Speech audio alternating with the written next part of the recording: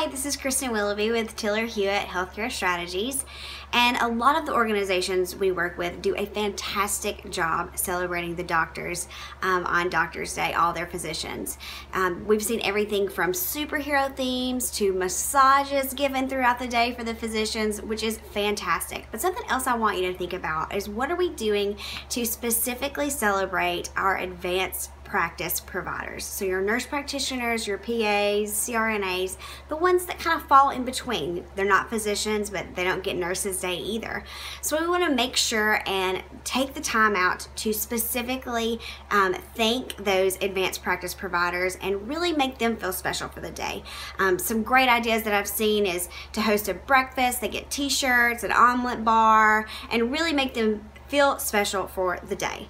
And something else to think about is that we, you know, focus so much on onboarding our physicians, which is great, and we definitely want to keep that focus there. But you want to loop those advanced practice providers into that onboarding process too.